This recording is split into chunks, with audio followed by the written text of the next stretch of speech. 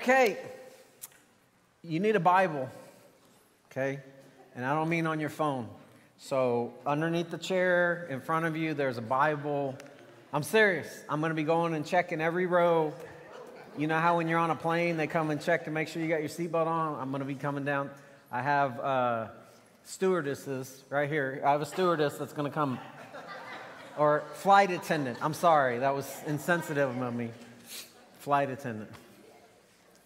No, seriously, you need a Bible and turn to the book of Numbers. So start at the very beginning. You got Genesis, Exodus, Leviticus, and then Numbers. Okay, it's the fourth book in the Bible.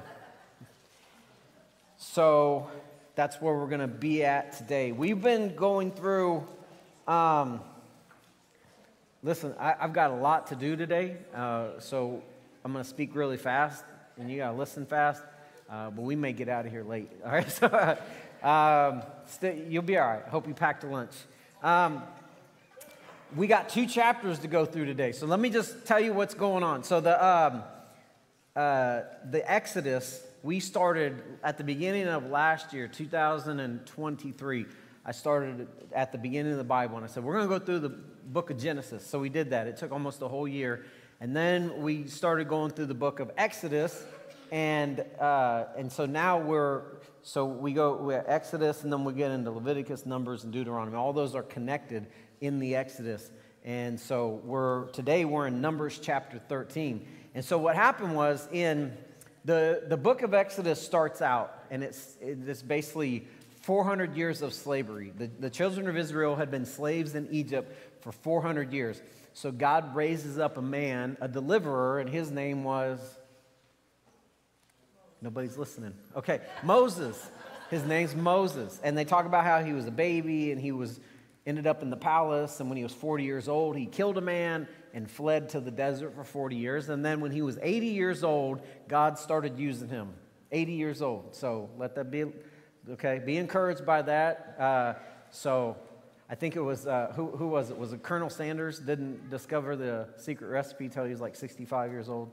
So, anyways, Age doesn't matter. Anyways, uh, it's a squirrel moment. But uh, so they, uh, the burning bush, he comes across the burning bush and it didn't burn up. So it freaked him out and God spoke to him and said, I got something for you to do. And so he went to, to his people and he went to Pharaoh and said, Let my people go. And Pharaoh didn't want to. So there were 10 plagues, right? 10 plagues. And then after that, he let them leave. And then they got to the Red Sea, and God opened up the Red Sea, and they walked through on dry ground. Now they're in the the desert. Now, here's, you got to understand this for context. They're in Egypt, okay? They're in Egypt, and God says, I've given you this promised land. This is your land. This is going to be your, your very own land, and it's the land of Canaan. But between the land of Canaan and Egypt, or it'd be, if you're looking at a map, like Egypt's here, the land of Canaan's here, is a desert, okay? So they had to cross the desert. And the other thing about that was that there were people there, okay? So you would be like, I, if I were there, I'd be like, why would you give me land where there's people there? And God's like, I'm glad you asked because it's your job to run them out. Your job is to get rid of the inhabitants there. And you might go, well, that seems weird or that, that might seem cruel, but those were evil people. Those people were sacrificing their children to their pagan gods. So this God says, this is your land, but you got to get rid of them. And I'll just give you just a little taste of what we're going to be talking about in a few weeks. So the promised land was there, and God's like, this is your land. You got to take it. And they came in uh, eventually and they defeated some of them, and some of them got pushed out to the edges. And the children of Israel goes, "Well, that's good enough, you know." And there were giants in the land, and sometimes the people would run up into the mountains, and the children of Israel were like, "Well, you know, we're, we're good," but then they would always come back down and fight with them and get them to worship their gods and, and there's a spiritual application for everyone in this room. If you're a Christian, God says, get rid of it. The sin that's in your life, you need to just finally get rid of it. Don't just push it to the outer limits because it's going to come back. It's always going to plague you. We'll come back to that. Um, go uh, put the put the map up. So this is the this is the promised land up here. Okay, um, and so this is what we're going to look at today. This was their journey and, and so you just need to understand when they came out of Egypt, I was trying to do some research for this. Um, everybody that I looked at, it, it, looks like they've been in the desert for about four, for about two years. Okay, so that may seem like a lot because they were in the desert, and you remember every day they woke up, they had eat. They would walk out in the front porch, and it's like there's some food on the ground. You just gathered it, and God would take care of them. But they'd been there for about two years, getting the Ten Commandments and all of that. And now God goes, Now you're ready to go into the promised land. And what you're going to see today is God comes up with this plan. He goes, I want you to take 12 people, 12 spies, and they're going to go into the promised land and scout out the land and then come back and give a report. So, this is what the story is today. So, if you look in Numbers chapter 13, we're going to start in verse 1. It says, the Lord now said to Moses, Send men to explore the land of Canaan, the land I am giving to Israel. Send one leader from each of the 12 tribes. So Moses did as the Lord commanded him. He, spent, he sent out 12 men, all tribal leaders of Israel, uh, from their camp in the wilderness of Paran. So here's one thing we're going we're gonna be talking about this a lot, but if, go, put the map back up just for a second, guys. Um, so in the map, I, I, wish I could have showed you the other map, but basically where Kadesh Barnea is, and then all the way up, that's the promised land. And in that, when the Israelites conquer it, they're going to divide the land up into the 12 tribes, okay? So each tribe would get a section, a, a portion of land, except for, because if you've ever studied this, I remember studying this for the first time, I'm like, that doesn't add up. Like, so you got the 12 tribes. Do you know where the 12 tribes came from? There was a guy named, you know, Abraham, Isaac, and Jacob. And Jacob had 12 sons. The youngest was Benjamin. You had Joseph and then Benjamin. So out of the 12 tribes, the Levites, Levi doesn't get any land. When they divided out the land, God's like, the Levites don't get anything. Why? Because they were like the priests. They were the people in ministry, which that, that's what I am. I'm a little salty because I don't get any land. You know what I mean? It's like, like, why can't I have some land? I just want, I just want 10 acres out in the country. You know what I mean? But, but so when they divided out the land, the Levites didn't get, they, they weren't counted. And Joseph, he's not considered a tribe either because Joseph actually gets two. He's got, he's got two sons, and I'll give someone a thousand points if you know his two sons' name Ephraim and Manasseh. Yeah, Ephraim and Manasseh. So, so Joseph had two sons, and so God, instead of considering Joseph to have a tribe, he gave his son. So I guess that's I guess one of them took Levi's allotment of land or something, which I'd have been a little salty. So, uh, but anyway, so the, I will show you that map at a later date. But here's so from the 12 tribes, they chose one person from each land. And they go, okay, you're going to go into the land and you're going to scout out the land and come back and tell us what it looks like. Let's jump down to verse 17. It says this says Moses gave the men these instructions. Now, now listen, I don't, I don't know if you're sleeping on me or not, but you got your Bible on your lap, and I want you to pay attention to details today, okay? These are important. These are important. This is going to come up. Moses gave these instructions, gave the men these instructions as he, as he sent them out to explore the land. He says, Go north, northward uh, through the Negev into the hill country. Now, this is another piece of information. The hill country was like the woods, okay? So I'm getting ahead of myself, but when they divide out the land, after they conquer the land, Moses goes, uh, not Moses, but Joshua goes, you, you, they would divide out the land, and this tribe would get to choose whatever portion of land they want. And the other tribe, that, and you know what everybody wanted? Everybody wanted the land that's closest to the river. Do you know why? You know why they, why would you want, why would you want, if I was like, you can have any land that you want, uh, and you would say, I want the land by the, the well-watered uh, plains of the Jordan. Why? Because they were farmers and they wanted to plant crops and you had herd, you know, you had sheep and cattle and you had to water them. And so what nobody wanted was a hill country. Mainly there were giants in the hill country and there was woods and if, you know, nowadays, if you if there's like a plot of land and it's all woods, we have big machines that will go in and just tear everything up really easy, right? But back then they didn't have machines. So if you had like a plot of land and there's a bunch of timber on it and you wanted to clear that, well, that was like a lifetime job, right? So so most people didn't want the hill country because it was hilly and there were trees and there were giants there. And most people wanted down by the water, okay? Which Not me. I would have been like, give me some land. Give me, again, give me 10 acres up in the mountains. I'm good. I'm good. Um, but here, here's what it says. Um, verse, where did I stop? Verse 19. No, no, verse 18. So, verse 18 it says, this, this the instructions. Pay attention to the instructions. See what the land is like and find out whether the people living there are strong or weak, few or many. What kind of land do they live in? Is it good or bad? Do the towns have walls or are they unprotected? How is the soil? Is it fertile or poor? Are there many trees? Enter the land boldly and bring back samples of the crops you see. It happened to be the season for harvesting the first, the first uh, ripe grapes. And then verse 21 says, So they went up and explored the land.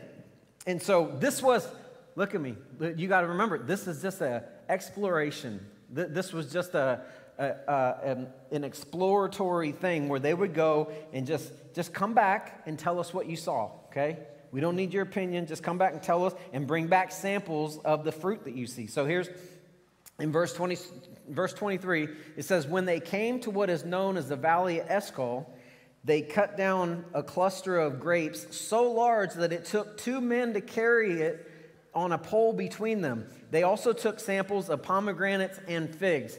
Put this on the screen. This is a big cluster of grapes. This is probably what it looked like. Think about that. Like they go, this is a, I, I've told you this before, but the, for whatever reason, God called the land, it's a, it's a good land and it's flowing with milk and honey. It, in other words, it's just like, it, it's fertile. It's, you know, you can, these are the crops that you, um, when I think about it's a land flowing with milk and honey, if there's milk there, there's cows there. If there's cows there, there's cheeseburgers right? That's how my mind works. Or there's steaks, like me, a good medium rare steak. But if there's milk, there's cows. If there's cows, there's food, right? There's hamburgers and cheeseburgers. And, and so it's, it's a good land. There's lots of animals there. There's lots of crops. And they go to the next slide. It might have looked like that, or it might have looked like this, you know, big clusters of grapes, or it might have looked like that. I don't know. All I know, listen, they were there for 40 days the spies went in the land for 40 days and they brought back a cluster of grapes. And I just know that if I was one of the guys carrying the grapes, as I'm walking along, I'm going to be plucking, right? I'm going to get back after 40 days ago. You should have seen the grapes they had. We had some, but they gone now. You know what I mean? Like I, I couldn't control myself. I had. Um, anyways, so are you like that? Like I, I know like if there's if there's chocolate in the house, I'm going to eat it. If, like if I have in possession of any candy or anything, I just I don't have any control over that. Um, so look at um, look at verse 25. It says, after exploring the land for 40 days, the men returned to Moses and Aaron, uh, Moses, Aaron, and the people of, uh, of Israel at Kadesh in the wilderness of Paran. So I'm going to put this map up here. So the spies go in and they scout out the land okay? And they started down south at Kadesh Barnea and they went all the way up. You got the music, guys? Okay. There's supposed to be some spy music going on there. So, uh, so they started down here, and for 40 days they went up all the way to Bethel, and then they came back down, right? And they were just scouting out the land, the land. They just were supposed to bring back samples just to tell the people, hey, listen, God told us that this is an awesome land flowing with milk and honey, and it is. That's all he wanted them to do. Look, it says, they, uh, in verse 26, it says, they reported to the whole community what they had seen and showed them the fruit they had taken from the land. This was their report to Moses. Now look at this. Look at the report they gave. We arrived in the land you sent us to see, and it is indeed a magnificent country, a land flowing with milk and honey. Here are some, here are some of its fruits as proof. So they were going, God didn't lie, right? Which boggles my mind because God never lies. God has never told you a lie. He's never misled you. He's never led you down the wrong path. If God said it, you can bank on it, okay? But these people, for whatever reason, have a hard time trusting God. I don't know if you can relate to that or not, but verse 28 it says, So they, they gave this report. Remember what they said? They go, It indeed is a magnificent country. It's a land flowing with milk and honey. And look at all the fruit that we brought back. And then they go, verse 28, But The people living there are powerful, and the cities and towns are fortified and very large. We also saw the descendants of Anak who, were, uh, who are living there. Do you know who the descendants of Anak are? The giants. They're the giants. So David and Goliath, right? There was, uh, if, if you got a pen, you're taking notes, write this down in your margin. Go to Genesis chapter 6. You can do your own study on this. But in Genesis 6, it talk, this is just before God flooded the whole world. And it says, and there's some controversy about what this actually means, but the Bible says that when the, the sons of men saw the daughters of man, they slept with some of them, and out of that union came what's called the Nephilites. And the Nephilites was a race of people that were, uh, they were giants, okay? And there's some dispute about like what they actually were, but they, we know that they were giants. And the Bible says after that, it says that during that time, before the flood, and, and it says, and sometime after, there were giants in the land. And we know that there were giants in the land later because David and Goliath happened years after the flood, years after this right here, hundreds of years later. And if you want to do an, an interesting study, I'm not like conspiracy theorist or anything like that, but uh, I say that all the time, so you probably think I am. But, um, but go look up what Kent Hovind on Kent Hovind and put in, go to YouTube and put in Kent Hovind on giants. He's got a whole, like lots of videos about all the giant skeletal bones that have been found through the years. Now, you don't hear much about them because it kind of flies in the face of evolution. Like they want you to believe that we started, that, that we started out as an amoeba and we're growing, getting better. But this is not true there used to be giants on the land. We're actually getting smaller, which is why you have to get your wisdom teeth. That's the whole thing. I don't have to go. But your wisdom teeth don't fit, but they probably used to. You know what I mean? So, anyways, uh, there used to be giants in the land. And, um, and when I say giants, um, we'll, we'll, come, we'll come back to that. I want to go back and look at what they said. Remember, verse 27, they said, uh, it's a magnificent country, okay? But then they go, but, in verse 28, but so you know what happened is they had a big butt. They, they let their butt get in the way. You sometimes have a big butt, okay? We're to talk about your big butt and you need to get rid of it, okay? I'm not talking about physical. I'm just talking about, like, sometimes there are things in your life and you go, I know I need to do this, but, and you psych yourself out or you let other people psych you out and you go, you, you know, you, you just let other factors come in and instead of doing what you know you should do, you let your big butt get in the way. So they had this big butt, which was the opposite of faith. And, um, and then verse 30, if you jump down to verse 30, Caleb has a big butt too. Caleb, let me just back up. So out of the 12 spies, right? 12 spies, there were 10 guys, and then there were two guys, Joshua and Caleb. And the reason why you know Joshua and Caleb is because of this story right here. Because Joshua and Caleb were the only two that had faith. And so look what it says in verse 31. It says, But the other men uh, no, I'm sorry, verse 30 it says, But Caleb tried to encourage the people as they stood before Moses. Let, let's go at once and take the land, he said. We can certainly conquer it. So you see what happened? There were 12 guys went out, 12 spies. They came back with fruit and they presented themselves to the community, this large group of people, and they go, Let me tell you the amazing land we saw. Look at this fruit. It's amazing. And they go, But there's giants in the land and they're huge, and we can't defeat them. And Joshua and Caleb are over here going, Don't listen to these idiots. And I mean, it's like, shut your mouth. Like, God, you know, God didn't ask for your opinion about that. Seriously, like, they were mad. They were going, We can certainly conquer it. Why, you know, the, the, the others were trying to discourage the crowd, and they did that. But Joshua and Caleb said, We can conquer. Look at verse 31. It says, But the other men who had explored the land with him, with him answered, we can't go up against them. They are stronger than we are. So, if you're taking notes, I got two things that I want you to write down. The first one is this the spies were not asked for their opinion. You could go back and look. I read it earlier. God said, Send the men in to just scout out the land and come back and tell us what you saw. He never asked for their opinion. They were never asked for their opinion. They, they were instructed to just scout out the land and report what they saw. Can I just can I just tell you, can I be, can I be the jerk to you right now? God doesn't need your opinion, okay? He doesn't. If he's telling you to do something, if he's asking you to do something, he don't really care what you think about it. He doesn't need your opinion. He doesn't need your input. You, because people go, uh, well, but, but, but God, but God. God's telling me to do this, and God's like, you don't think I you don't think that I factored that in? You don't think I factored in your stupidity in the whole equation? You don't think that I've already thought through every scenario? Like, God is smarter than you. So, in that moment when God tells you to do something and you go, God, but God, you're going, I'm smarter than you, God. You don't know. God's like, I do know because I see the beginning from the end. He's infinite, He's all knowing. There's nothing He doesn't know. So, whatever scenario you're going through, whatever trail you're going down, He already knows what the end looks like. You don't. So, you would do well to just trust Him and to say, All right, God, if that's what you said, I'm going to do that. But why is it that we have a hard time and we, we go, But God, but God, He don't need your opinion. Okay? He's already thought about it. Number, are, you, are we okay? Are you guys mad at me? Some, some of you guys about to walk out. All right. Number two, the second thing is specific instructions are important to God. Okay? If you read the Bible like I have, and you should read the Bible, Every year I read through the Bible from Genesis to Revelation. I actually put it on my phone and I listen to it.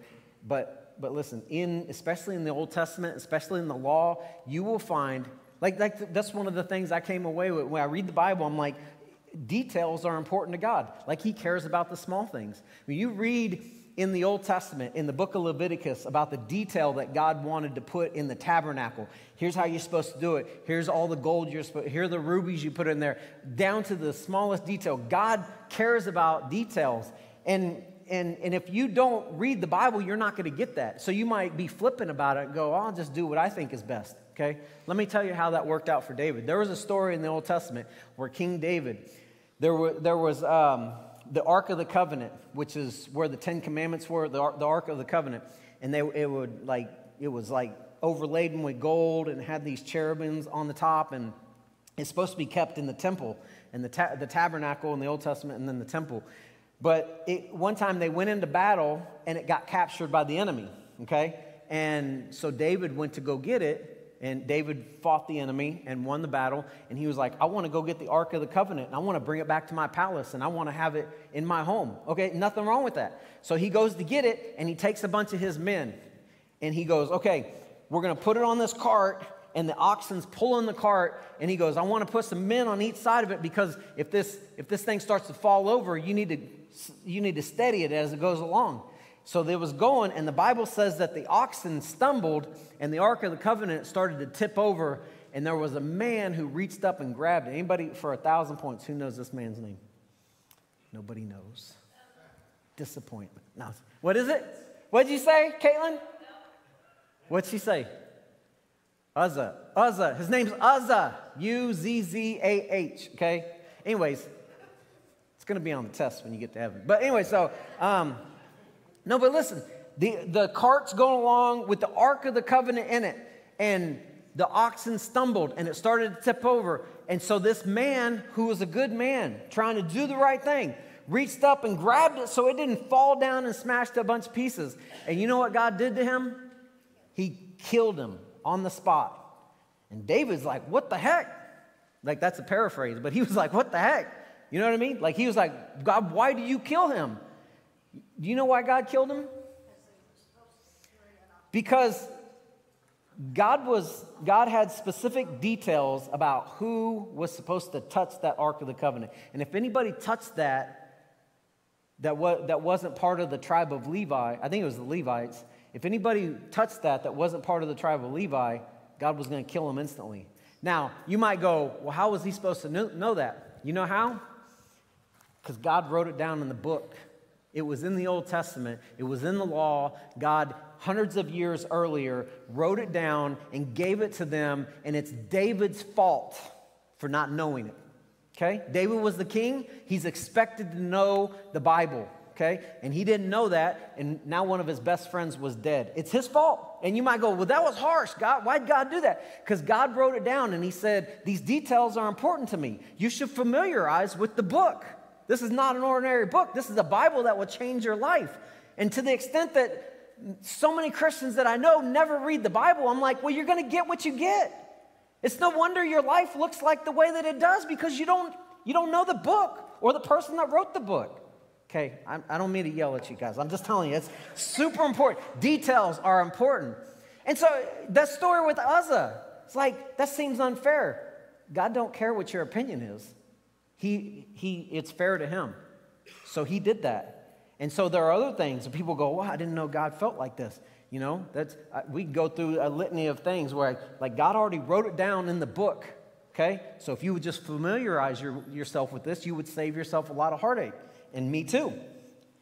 Okay, so let's go on. So that was the story about Uzzah, and, uh, and then verse 32, it says, So they, the 10, there were 12 spies, 10 of them, it says, spread discouraging reports about the land among the Israelites. You know, how many of you guys know that uh, complaining is contagious. You know that? Like, you ever been around a chronic complainer? You ever been around someone who, you, you know anybody that just sees the and everything? Stay away from people like that, okay? And if that's you, I'm probably going to stay away from you because I don't want to be around people like that. Like, it takes no faith to point out the obvious. Yes, there's giants in the land. Yes, the people are strong. But who cares? God didn't tell you to come back and bring your opinion. God said, Come tell us what the land was like and bring back some food. That's all He said. He didn't ask for your opinion. And so you go, Yeah, gi- newsflash, giants are stronger than me. So what? But they're not stronger than God. Are they? Are giants stronger than God? No. So they came back and they discouraged the whole, uh, the whole crowd. And look at, look at what happened in verse 32 later. It says, the, the land we explored, this is what they said. They go, The land we explored will swallow up any who go to live there. All the people we saw were huge. We even saw giants there, the descendants of Anak. We felt like grasshoppers next to them, and that's what we looked like to them. Put, put, it, put that on the screen. So, this is a scale. I don't, I don't know how accurate this is, but I know uh, the average man is not six foot. I'm five six. Okay, I feel like I'm no, I'm short. I know I'm short, but the average the average Jewish man was not. The average Jewish man back then was probably like five foot three, honestly. But anyways, but uh, I looked this up, so I found this graphic and I looked up Amos 2.9. I'll save you the trouble. And I went and looked at it and it said, in Amos's day, it said the people at that time were as tall as cedars. He was talking about the giants. He goes, they were tall as cedars. I don't know how tall cedars are, evidently 36 feet, 24 to 36 feet, but, but they were huge. You know, and you go back and read the story of David and Goliath. When David fought Goliath, the Bible says he's about, depending on which interpretation you read, about nine and a half feet tall, almost 10 feet tall. Okay? But so there were literal giants. This is not fairy tale. There were literal giants living in, in the land. And um, so, number three, I want you to write this down if you're taking notes. And this is an important thing. The fear of man will paralyze you and prevent you from enjoying the promised land.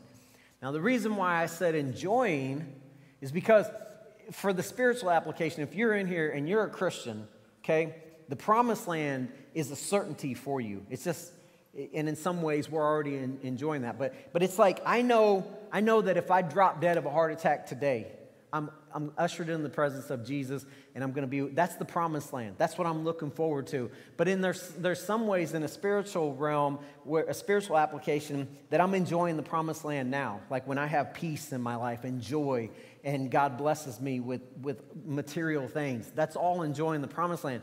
But what I want you to know is that if you're controlled by the fear of man, you're going to miss out on a lot of those things.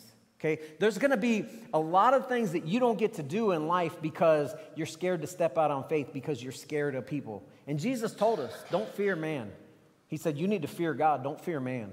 Don't, he goes, don't fear a person who can kill your body. He said, fear the, the God in heaven that can destroy both body and soul in hell.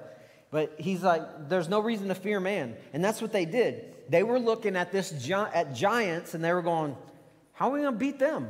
You know how? Because you're not going in your own strength. Yeah, if you were going in your own strength, if I was going to fight a giant in my own strength, I'm going to lose 10 out of 10 times. But if I go in the strength of God, then I'm going to win 10 out of 10 times. That's how it works.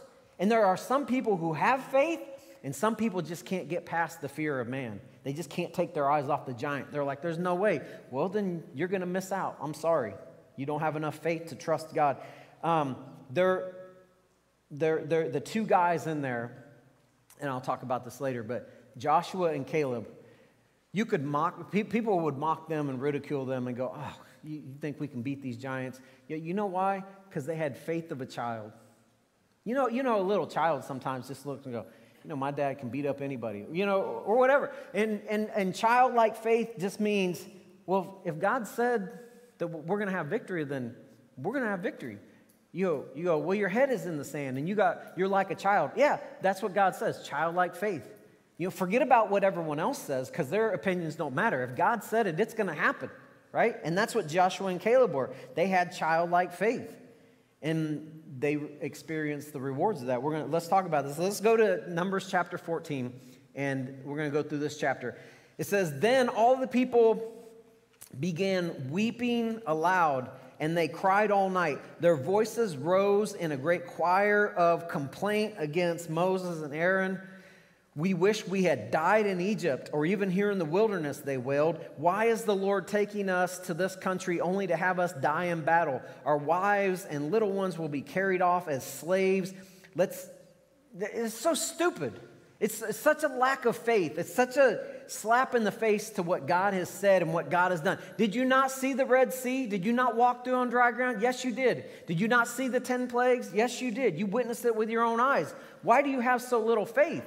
is what God says. Look, he says in verse um, verse three, no, verse four, um, verse three. It says, "Why is the Lord taking us out of this country to have us die in battle? Our wives and little ones will be carried off as slaves." They go, "Let's get out of here and return to Egypt." Really? That's your best plan? You want to go back? And and yeah, we were slaves, and yeah, they used to beat us, and we had to work and break our back from morning till night, and we didn't get paid for it. But that's got to be better than this. Really? Why, why is it that people want to go back to their old lifestyle, their old life, after God has done so many miracles in their life? And it happens all the time. The Bible says it's like a dog returning to its vomit. You ever, you ever seen a dog return to his vomit? We, we used to have a dog. One time, one time we had a dog that threw up, it would puke in the kitchen, and I would leave it because I know later he was going to go clean it up himself. So just that's a little tip for you, you know. That's a hack. That's a life hack for you. Let them clean it up themselves. Anyways, um, but these guys are a bunch of whiners. They're like, let's go back to Egypt. Let's go back to Egypt. Look at verse 5. Um, then Moses and Aaron fell face down on the ground before the people of Israel uh, two of the men who explored the land, this is what I said earlier Joshua, son of Nun, and Caleb, son of Jephunneh, they tore their clothing. They said to the community of, community of Israel, The land we explored is, is a wonderful land. And if the Lord is pleased with us, he will bring us safely into that land uh, and, and give it to us. You, you know what's happening here? Joshua and Caleb they knew that they were that they were on the verge of ticking God off. God was upset with the community of Israel and he's about to do something. Look at what happened in verse 10. It says, But the whole community began to talk about stoning Joshua and Caleb. How crazy is that? They, they didn't want to hear it. They put their fingers in there, like, no, we don't, we don't want to hear this. Can it, really quick, you know that the crowd is not always right. You know, oftentimes the majority of the people are wrong just look at America. You know what I mean? Like you look at the way that America is going. They're like, don't follow the crowd. Listen, I, I always talk to young people, but this is for everybody.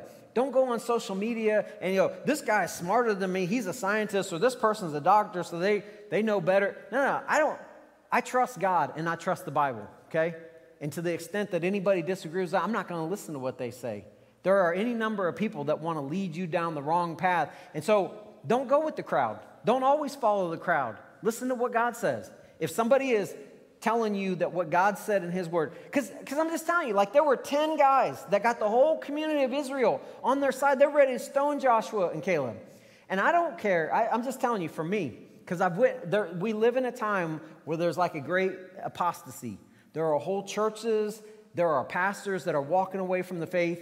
They're still in the pulpit. They still have church every Sunday, but they, they don't believe that the Bible is the Word of God. They believe in all kinds of sins that, the, that this, this uh, society says is acceptable, that flies in the face of what the Bible says. And I'm like, I refuse to go along with it. Okay? And I don't care if everyone in this room gets mad and walks out on me and says, I'm not following God anymore. All right, hope that works out for you. but I'm going to keep following God to the very end. Okay? And I know some of you guys will be there with me. But I know that there's a lot of people in our in today's society, in America, that are just like, I used to be a Christian. You, you go on social media, go on TikTok, there's any number of people that want to tell you about, here's why I walked away from the church. Well, I'm sorry you had a bad experience at church, but don't blame God for that. And just because you walked away from God, I'm not going to, okay? You'll never, you, nobody will never convince me that, that to walk away from God, that walking away from God is the right path to go. Never. It's never going to happen. So you just have to be resolute in what you believe. Because if it's open for debate, you know, you might entertain certain things. Joshua and Caleb, this, I'm just, I just want to tell you, I wrote this down. In a, in a world filled with faithless people, be a Joshua and a Caleb, okay? Be like them because it worked out for them and it did not work out for the rest of the people. The rest of the people went against God, and let's just see how that worked out for them. It says this um, it says in verse 9, they said, um, no, no, where, where am I at? Verse 10. Verse 10. It says, But the whole community began talking of stoning Joshua and Caleb. It, said, it says, Then the glorious presence of the Lord appeared, and all the people, or all the Israelites, says, The glorious presence of the Lord appeared to all the Israelites from above the tabernacle. You know what happened? Now they're in trouble. God just showed up. You ever, you ever had, uh, when you were a kid, you get in trouble and your mom goes, You just wait till your dad gets home. You ever had that happen before? Yeah, because you, you, knew that was like the worst day because you knew when your dad got home, your butt was going to get whooped. And, and so God shows up and their butt's about to get whooped because here's what it says. Um, verse 11, it says, and the Lord said to Moses, How long will these people reject me? Will they never believe me, even after all the miraculous signs I have done among them? He says in verse 12, I will disown them and destroy them with a plague. Then I will make you into a great into a far greater and mightier uh, a nation far greater and mightier than they are. So this is what God said to Moses. Moses goes, God, God goes, Moses, step out of the way because I'm about to destroy all these people, and I'll start over with you, and I'll make you into a great nation. That's what God was so ticked off with them. But thank goodness for Moses. Look in verse 13. It says, But what will the Egyptians think when they hear about it? Moses pleaded with the Lord. I'm so glad that Moses pled, and I talked about this before, how you and I should be pleading for our communities, for our families. You should be interceding on behalf of your family. Verse 19 says, He says this, He goes, Please pardon the sins of this people because of your mag- magnificent, unfailing love, just as you have forgiven them since they left Egypt. He, he goes, he goes, don't, don't forgive them because they deserve it. They don't. Forgive them because you are a, a magnificent God. Verse 20, and then I'm almost done. Verse 20 says, Then the Lord said, I will pardon them as you, as you have requested, but surely as I live, and as surely as the earth is filled with the Lord's glory, not one of these people will enter, the land, enter that land. They have seen my glorious presence and the miraculous signs I performed both in Egypt and in the wilderness, but again and again they tested me by refusing to listen. Now, I want to tell you what the, the consequences are. There were consequences to the people. Were they forgiven? Yes. God goes, I'm going to forgive them, but none of you guys get to go to the promised land. Look at what it says. Let's go on to verse 25. It says, Now turn around. He, says, Now turn around and go on toward the land where the Amalekites and Canaanites, I'm sorry, he says, Don't go. Now turn around and don't go on toward the land where the, the Amalekites and Canaanites live. Tomorrow you must set out for the wilderness in the direction of the Red Sea. What's that? That's the opposite direction. The promised land's over here. God, you said promised land. But he goes, no, no, not so fast. You had your chance. You don't get to go to the promised land. Turn your butts around and go back to the Red Sea where you're going to be in the, in the wilderness for 40 years. Look in verse 29. He said, You will all die here in the wilderness because you complained against me. None of you who are 20 years or older and were counted in the census will enter the land I swore to give you. The only exceptions will be Caleb, son of Jephunneh, and Joshua, son of Nun. Those are the only two. So God says, out of everybody, everyone 20 years and older, you don't get to go into the promised land. You guys are going to wander around the desert for 40. Look at verse um, 34. It says, because the men, ex- because the men who explored the land were there for 40 days, you must wander in the wilderness for 40 years, a year for each day, suffering the consequences of your sins. You will discover what it's like to have me for an enemy. Whew. You don't want to discover what that's like. Nobody does. You don't want to. God, God was on their side, and they said, No thanks, God, we can't do it. And God took offense to that, and He goes, Now I'm not on your side. Now I'm against you. And all of the people who were adults had to wander in the wilderness, the desert, for 40 years.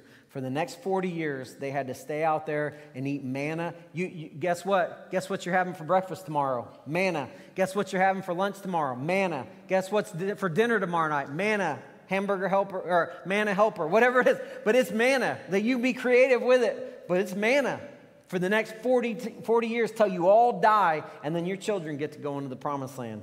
And you might go, well, that sounds pretty harsh. No. I mean, not to God, it's not. And his opinion is the only one that matters, right?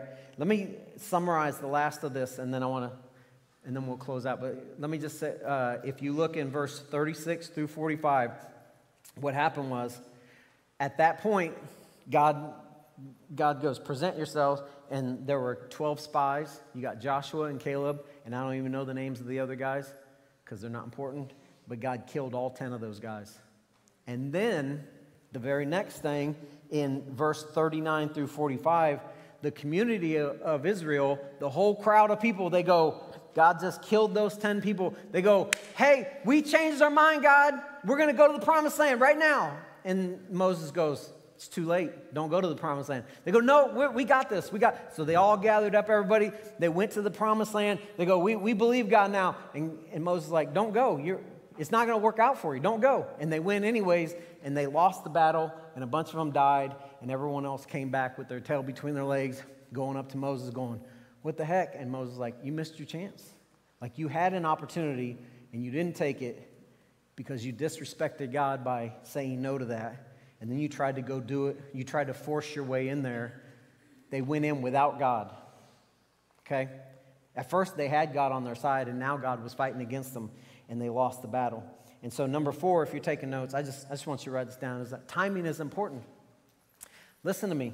God is not to be played with. I, can, can I just be honest with you? I, f- I feel like there's too many people, there's too many Christians that just go, eh, God's not really serious. No, God is dead serious.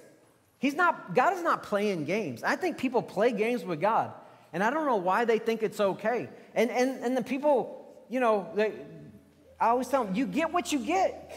You, you put very little into your Christian faith, and this is what you get out of it. And you wonder why, you know, why are they getting so many blessings? Why does this person have peace in their life? Why is this happening for them? And I don't ever, well, I don't, I don't know. I don't know. Maybe you look at the effort that you put into it. Okay? And I'm just telling you, there are so many themes to this. This is a phenomenal story, and it's about faith, and it's about obedience, it's about complaining, it's about listening to doubters and negativity, letting those people surround your life and, and buying into what they're selling. No, no, forget all of that stuff. What you need to do is you need to find out what God says in His Word. And you might go, Well, I'm praying about this and I don't know what God wants me to do. Listen, go back and read the Bible, familiarize yourself with this, because if you're not willing to be obedient to what He's already said, He's probably not going to share more with you. you. Okay? You know what I'm saying? Like, be obedient to what you know. That's the first step. And then the next step might just fall into place.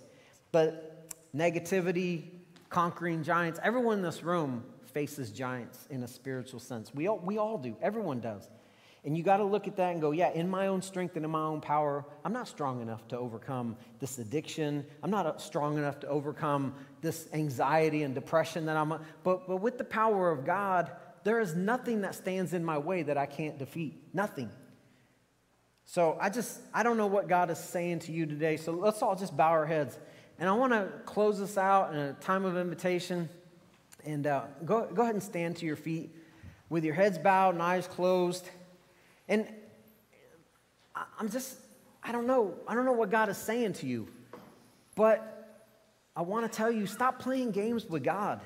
Stop pretending that the details, that the small things in your life don't matter, that God doesn't care if you sleep around, that God doesn't care what comes out of your mouth, that, that God's, God's cool with how these little compromises in your life. He's not. God is holy and He's righteous, and He demands that we follow Him in complete obedience. We, we got to quit playing games with God. You got to quit following the crowd. I, I, don't know how you feel about that, but there, this world does not have my best interest at heart.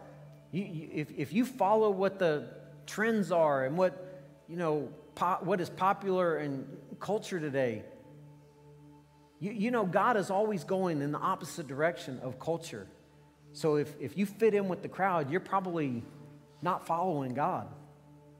And it sucks. It, it does. It sucks sometimes that we, that we get mocked and ridiculed at your job, and kids go to school and get made fun of for being a Christian.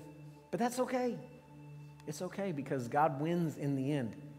Everyone that's in this room, if you're on God's team, the battle has already been won. You're on the winning side. You just got to hang in there and trust God every step of the way. Don't follow the crowd. The crowd's wrong. They're going in the wrong direction. They're not going in God's direction. You don't need them. So that means if you stand alone, if it's just you and Joshua and Caleb, that's all right. You're in the majority. So, whatever God's telling you today, I, am going to open it up. We got a few people down front that will pray with you. I feel like we play too many games at church. I, feel like I feel like there's a heaviness in, in the room right now. There was in the first service too. And, and, there's some people in this room going through some stuff. And you, you're just like, I'm just going to put on my big boy pants and tough it out. Well, that's not really biblical. Um, if you can't be real in this church, I don't know where you can be if, you're going through something right now, or your family's going through a, a crisis, a situation, you come, come down and pray at the altar. Come pray with somebody.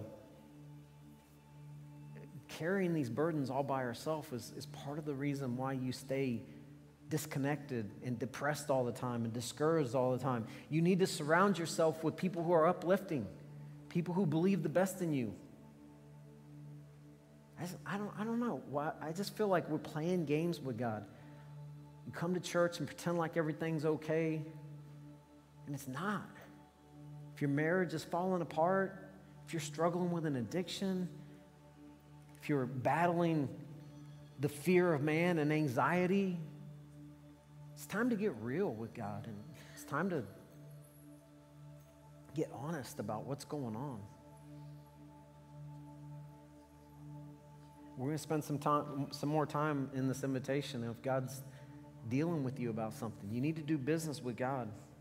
Some things you need to give over to God. Start trusting Him for some things.